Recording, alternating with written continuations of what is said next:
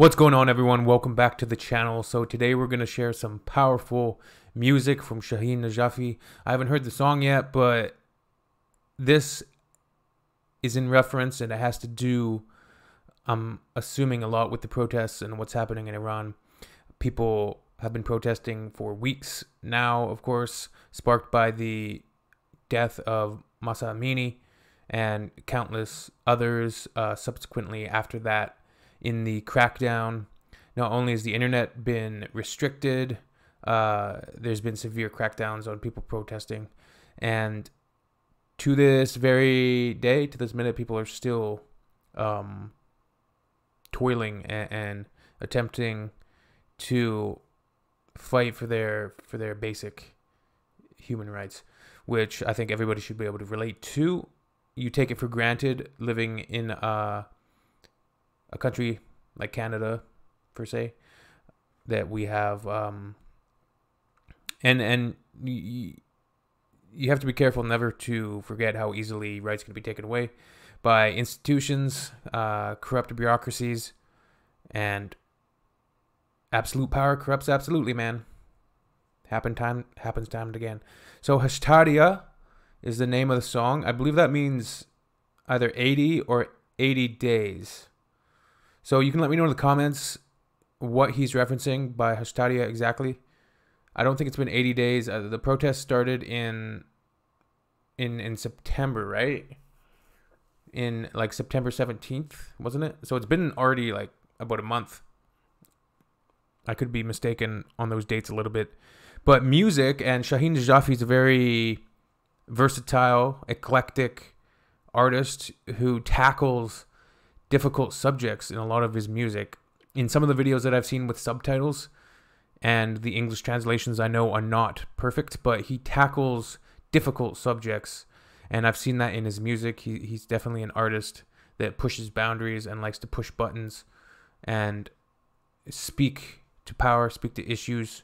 And hip hop specifically started out as that, right? It started out as a a tool of social unrest, uh, a tool of a tool for um, oppress, a, a tool for groups facing oppression to use to express their frustrations and, and in the face of uh, injustices. And that's what hip hop started out like on a base level. That's how hip hop started out. So Shahin Najafi Hashtadia, let's get into it. Let's go.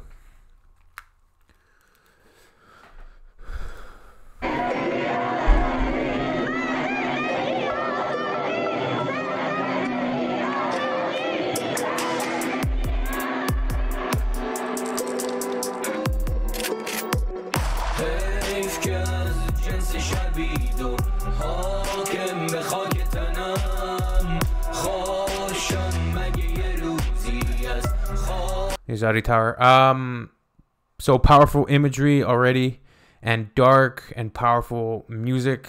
Very, very. Um, I wouldn't say aggressive in tone, but it's definitely very, very heavy.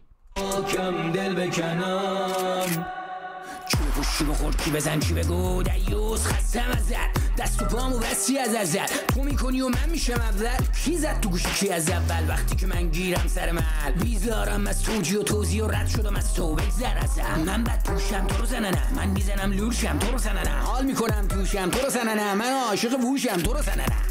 ها نگاه می‌کنی به دستان خط میندازه رو چشات هم تیغم داره باز پاش میام به پیچی به پام من از اون لاشیام که پارت می‌کنم و بازداش میام. 18 ساله 18 تا خط. ده دادی قاتل خشتک می‌کشم رو سرت شورشی دختر مامورا جلو من انداختن سپر.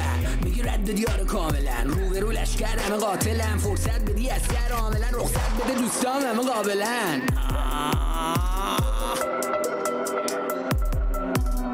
80 سال سر توی خشتک منه دامن کوتاه بپوشم زشته که ننه من هر جوری عشقم آزادیمه بکش بیرون از ما که ریختم سرش شاشیدم توی اون اعتقاد باور So some powerful imagery. A lot of these clips I've seen shared on social media. You have a lot of brave people, younger generations, uh, fighting up, and you've seen police officers being beaten. But there's a way more videos and disturbing videos of uh, officers and people in positions of power using that power to to beat people, especially once they're in custody.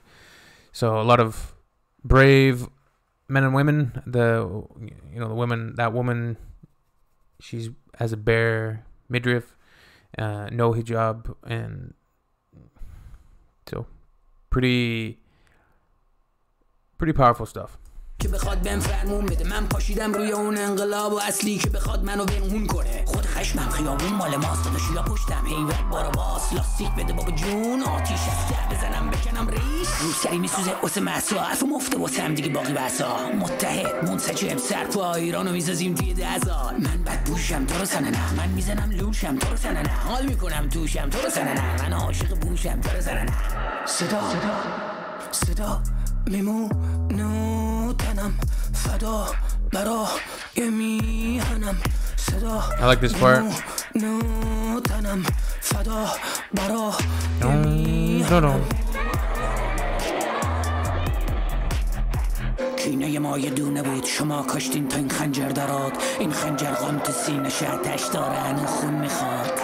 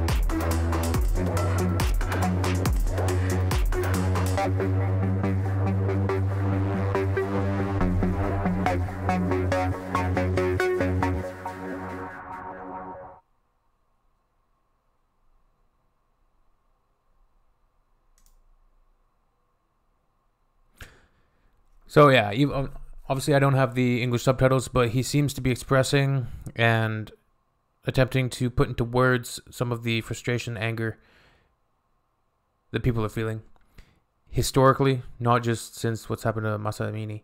It's been going on before that. So, anyways, let me know you guys think down below. Heavy music for a heavy subject. Uh, hope everybody's doing okay and we'll see you in the next video. Take care of yourselves. Peace out. Later.